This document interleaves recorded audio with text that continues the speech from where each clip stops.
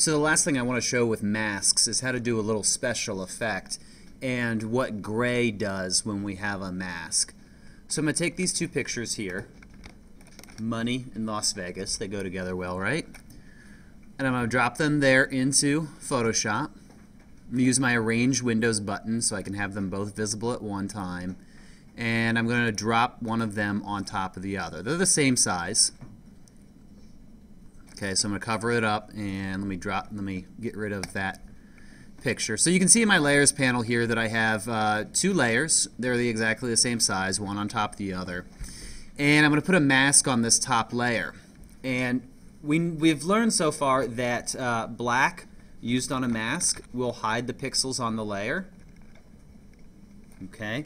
And the opposite, of course, would be white, um, which shows the pixels on the layer.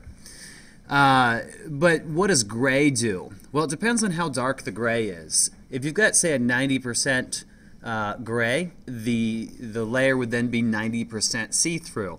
10% uh, gray would be 10% see-through. So, of course, a gradient will fade between black, white, and every shade of gray in between.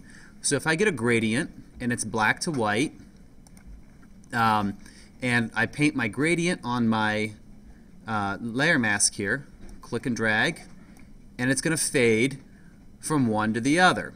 Okay, so um, I can do a short one, okay, or I can go long, do the whole image there, and I've then used a layer mask to blend these two pictures together in an interesting way. Let me show you some student work here. Um, this young artist, she took a photograph of herself um, out in the hallway. She made a selection of herself, used a mask to uh, then, uh, then uh, mask her out of the brick wall background from the hallway.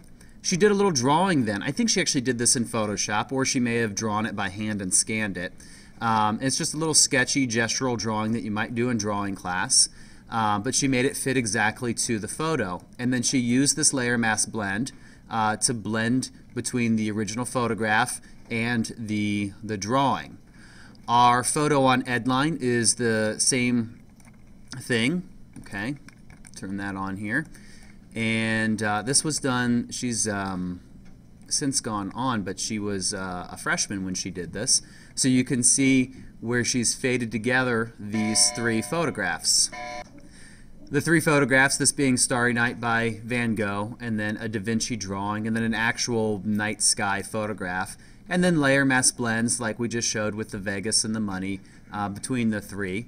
And of course, she cut herself out using a mask here. She painted on some things and she put some words on here. So even though we're not done with our Photoshop lessons, you've already learned a lot of the skills that would take um, to uh, make an image like this. It's just up to your creativity and the things that you do with the tools that we've learned.